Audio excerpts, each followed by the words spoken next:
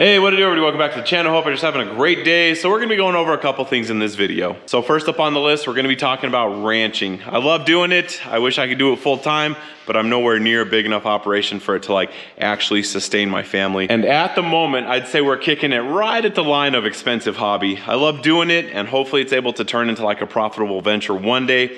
But for right now, it's just something that we really enjoy doing. But it's not always butterflies and rainbows. There is the occasional occurrence. I've been trying to figure out how to word this correctly but pretty much it just sucks. And we had a couple of those instances happen over the past couple weeks. We've had a couple storms roll through here. And just to kind of give you like a brief description, we've had this one oak tree on the property that's realistically been dead for probably about three years. And I've just been scratching my head at how to get rid of this thing because it had such a far lean on it and we had one of our pipe corrals running underneath it that I just thought there was so much room for error. And in this last storm that we had, a split fully developed all the way through the trunk. So we had to act fast and push this thing over. So we are gonna be addressing that in today's video and I currently do not have a whole lot of time to dilly-dally because as we speak, my cows are currently on my neighbor's property. They pushed through his fence, they found the weak point, so I gotta run over there, help repair it. And as always, there may be something else that makes its way this video, but I hope you guys enjoy. Let's go and jump on into it and let's roll. I came from the mud, there's dirt on my hands. Strong like a tree, there's roots where I stand. Oh, I've been running from the law. Hope they won't shoot me down soon.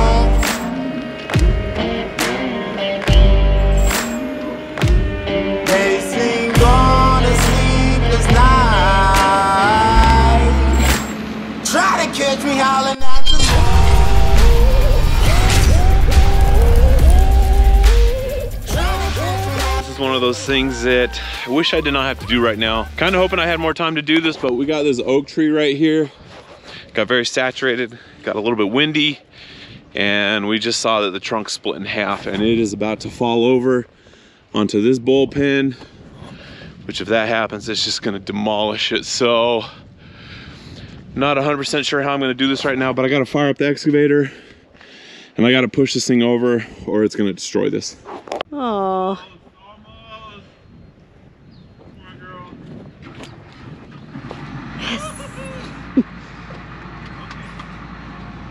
all right. Let's get these cows out of here. Come on. Yeah. Out. Out.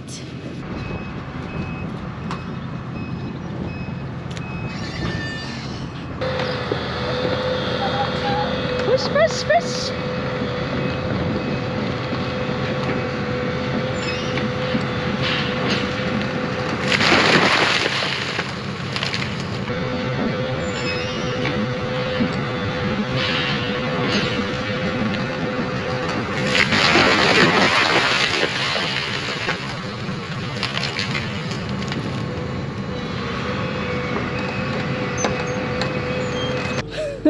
That could not have gone any better. Oh, that scared me. Dang. Look at all that mold in there. Got my angles pretty good. We just had some slight brush ups right there, but it didn't damage anything. So now this is a huge relief because this is something that I've been wanting to do for the past couple months because I've known that this tree was just super rotten and about to break. So kind of relieved that it went as smooth as it did and we didn't damage anything, didn't break anything. So we're just gonna have to bring some dirt in here and uh, get this filled in. And uh, it didn't even lift the posts out or anything. So all in all, this really could not have gone any better than it did, other than the fact that it's freezing out here right now and I wanna go back inside. So I'm really glad that excavator fired up right now because it did not want to. Those batteries were cold, cold, cold. So is that engine. So we're gonna go ahead and let it run for a little bit, make her happy, and then we'll shut it back off. But this is the part of ranching that is uh, not fun. It's stuff like this. But look, the cows think it's fun. Yeah, you guys excited? All right, well, I'll be back at this another day. Probably not tomorrow, since tomorrow's Easter. Yeah. I'm thinking, thinking Monday or Tuesday we'll get at this.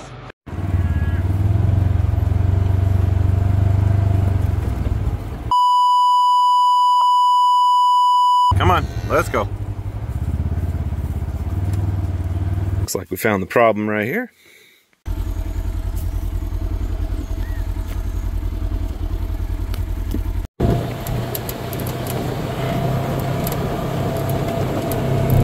I'm not gonna deny it, but a lot of our fencing is pretty measly, it's pretty shabby, and uh, this back fence right here is no exception. And the day that we were fixing the fence on that side, where the cows were getting into my neighbor's property, we had our bull get out. Now he's supposed to be on this side of the fence, and he made his way over to this side of the fence. Now you can tell that this is all pretty rinky dink right here. This is how it was when we bought the place, and it has old panels that are tied to existing posts and you guys can see that this is pretty shaky. All of this is just in desperate need of repair. And I'm guessing that our bull decided to jump over right here and start chasing some of the heifers that were in heat. So needless to say, he got put in timeout. He is now in the bullpen because he's trying to breed our heifers, which are technically not supposed to be bred yet. So we got to keep him isolated for the time being. He's been pretty well behaved for a long time, but he came and wrecked some havoc over here. So we're gonna have to deal with that later. But let me go ahead and show you guys the part of the fence that we did repair. All right, so this little section of fence right here is what needed repair. And this is a pretty problematic little area. It's kind of a temperamental spot because when we get a ton of rain, this just turns into like a huge river and you can't go down too low because whatever debris is coming down through here, it'll just destroy this. So it's kind of hard to find the sweet spot. You guys can see that we added a new section of barbed wire down here this was the last one, and this used to be about the same height as this one. So with each storm, this little riverbank goes down and down and down. So the gap just keeps getting bigger and bigger. And normally that's okay, but you guys can see that this old rusty barbed wire right here, it actually broke in two. So we kind of mended it together with another piece of barbed wire, and then reinforce it with this. And hopefully that resolves all of our issues for the time being with our cows getting onto my neighbor's property. But guys, I love it back here. This is just such a beautiful area. All right, well, we're gonna go ahead and make our way back. Hopefully we don't hit any of the poison oak that's around here. Hey, you know the gate over by Charlie? Yeah. Can you go open that up for me? Yeah. All right, thank you. All right, well, as you guys can tell, we got the massive oak tree that finally met its fate. You guys can see this root ball right here is just absolutely trashed. Everything was like decomposing, starting to fall apart. I honestly don't know how the tree hadn't fallen over already. But so right now this thing's in our big cow pen, which is kind of problematic. And we are gonna try and get this thing cleared out of here today. You guys can tell that we got the big excavator right here. We got the 299 with the grapple bucket. We did bring the chainsaw over just in case we need it. So I'm gonna go ahead and give you guys a quick little backstory. In this area that we live, there are just a ton of these big, beautiful oak trees but about 10 or maybe 15 years ago, somebody was bringing in just loads and loads of oak firewood from out of state. And they brought in with them this little bug. It's called the golden oak borer or something like that. It's just a horrific little bug that is just wreaking havoc on these oak trees. And on the other side of this fence line, which is where our cattle go out to graze every day, there are just a ton of oak trees. And it is so sad to see how many have fallen and how many have died. So it is a really sad story. And as a result of it, we got stuff like this happening. A couple years back, we had another big, massive oak tree right there that the bugs did their thing with it. And it ended up getting pushed over too. So as sad as this is, we're gonna try and find somewhat of a silver lining to this scenario, and that is that we have a big pile of dirt right on the other side of Charlie that occasionally we like to throw rocks at. So I think I've kind of somewhat come up with a plan. We're gonna take the 299, we're gonna track it through there because the big excavator will not fit through that little door over there. And we're just gonna start breaking off piece by piece if we can. I don't know if the 299 with the grapple bucket will be able to. And then if the 299 is not able to do that, we will track the excavator over to probably right here. I will reach over, I'll grab it, we'll probably pick up the tree, set it down right here. And then from there, we'll probably break out the chainsaw and start cutting the tree up. But let's see how this goes. I'm gonna jump in the 299 first and give that a good honest effort and we'll see what we can get done. I'm a flippery snake. gonna give you guys a quick little look before we just start tearing things apart real quick. You guys can see like how bad a shape this wood's in. You guys can see that that branch is just like completely broken through. It's like starting to decompose already. That one's super broken.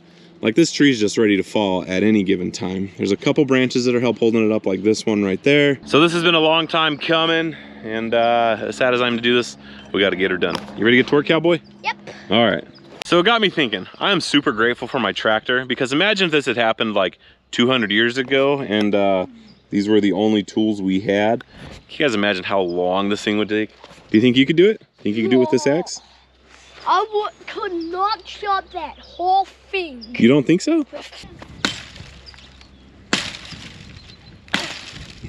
As Tractor Boy has shown us, it would take quite some time to get this thing chopped up. But, do you think you're ready? Can you film for me? Yep. All right, let's go. This is gonna be way easier not using axes. I'm gonna go start opening the gates, okay? Thank you. That's as much as it will do. Get this way. We don't need that. If we use the axe, that would take us like one whole year. Okay, make sure you don't go under the tree while I'm working on it, okay? Okay.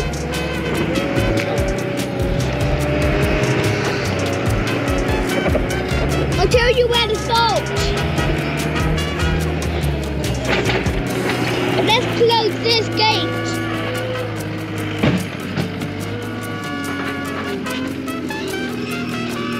Let's uh, get to close. Oh, he's already doing it. But this would be an awesome video. This might hit 150 subscribers.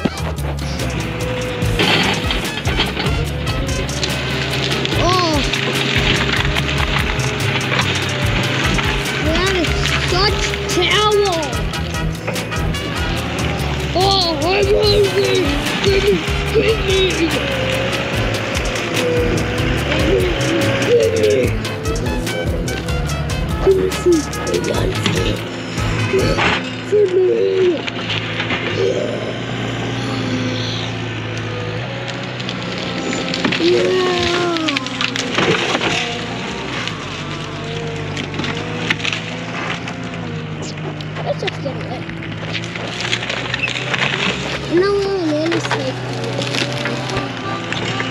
I'm saying. This video was a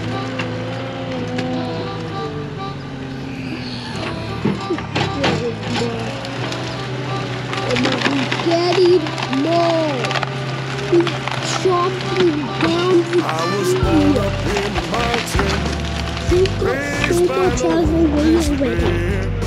That tree? Moving in his way. He's coming for load number three. Raised by no west wind. I sit by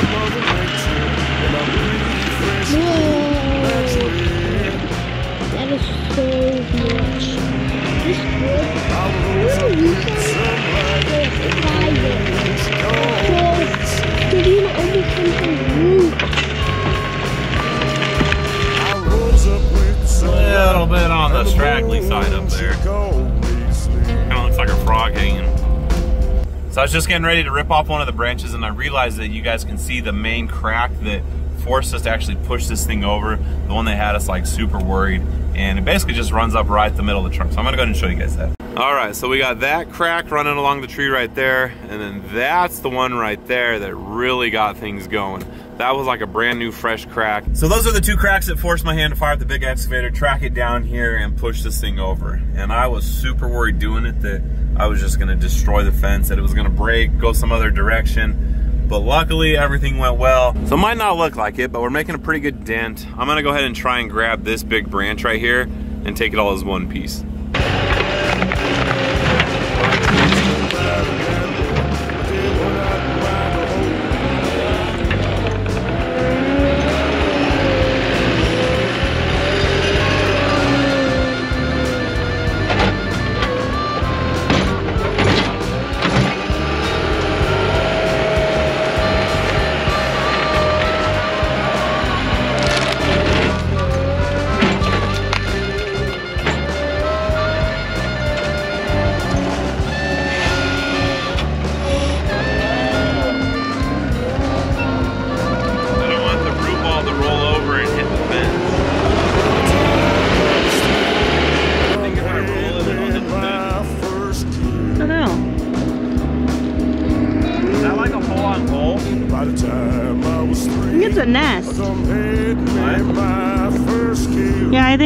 nest.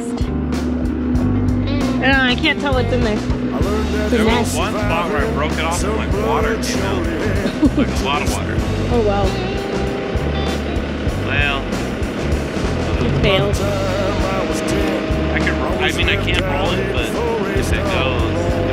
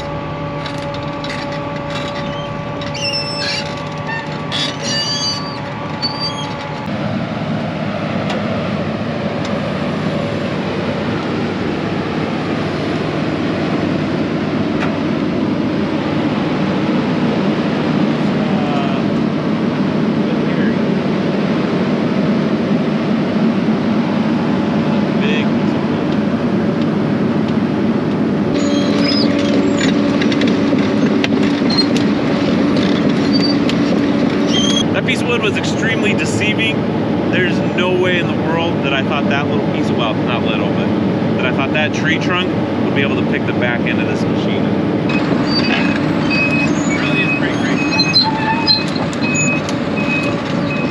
All right, so we're getting pretty close to where we want to be. You guys can see that this is significantly taller than it used to be. And for size reference, I don't know if it's going to show up on camera, but I think it's like just a hair taller than I am, but I would like to go up at least another foot. And I think we have enough stuff in this pasture still that needs cleaning up that I think we'll be able to achieve that. We still have a large portion of that one tree that fell down over there. There's a couple branches underneath that tree. We had another tree fall over here. You guys can see kind of the remnants of it. And then we have another big pile back by that tree. So I'm gonna spend the next hour or so cleaning all that up. And then once we have everything cleaned up, I'll go ahead and truck some dirt down here so that we can have just this big, beautiful little mound of dirt with nice, luscious green grass that grows on it, kind of like it does over here. We would like to replicate all of that over here and then just have a nice big clean pasture that we can turn the animals out in so they can have lots of food. Anyhow, I'm gonna go ahead and get to work. Gonna go ahead and move this out of the way. I'm not sure what that is. I don't know why this would be over here. It's a strange looking contraption. Go ahead and get the 299 warming up again. Uh-oh. All right, well, let's go ahead and get this thing set up on top. Hopefully we don't tip over right now.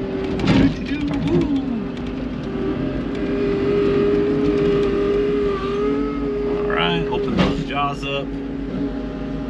All right, so ended up being just like a bunch of the same thing back and forth, back and forth, but it turned out pretty good. But I had to run over and call the cows in real quick. It's feeding time. We're gonna give them a couple treats real quick. And then after we get them in for the night, and then I'll run back over and I'll show you guys the mound. It's getting pretty big. I'm pretty excited for it. So as soon as these cows get in, we'll go ahead and start running around. Come on, kids. All right, well, as usual, it ends up being way more work than I initially planned on. And I know it's not gonna show up very well on camera, but this is just a monstrous pile of stuff. There is dirt mixed in with it, and I'm gonna have to bring a decent amount of dirt down to go ahead and actually cover this all up because I want it to look nice. I want it to be somewhat aesthetically pleasing and not just this big ugly pile of wood. But for the most part, all the hard work is done. And as cool as this big mound is gonna be, it's still kind of sad, kind of like brings me down a little bit because it used to be three big, beautiful oak trees. And in combination with that golden oak borer beetle, whatever it's called, then we had just a couple really, really dry years. With those two things together, it's really hard for the oak trees to stand a chance. And this is a result of what happened. So before I start rambling on too much, we're gonna go ahead and throw the drone up in the sky and we're gonna send it that way so you guys can kind of see the aftermath of what these beetles have actually done. Now we've had, I think three, maybe four in total that we've lost on our property. But on that piece back there, there are just tons and tons of them that have met the same fate as these oak trees. And it's just one of those things that kind of sucks, but it's happened and we're having to deal with it. So there's a lot of cleanup going on. So anyways, I'm gonna go ahead and throw the drone up in the sky and you guys will get to see some of the beauty back here and also some of the devastation. I would say that I hope you guys enjoy it, but it's kind of sad. But anyways, let's go ahead and throw the drone up.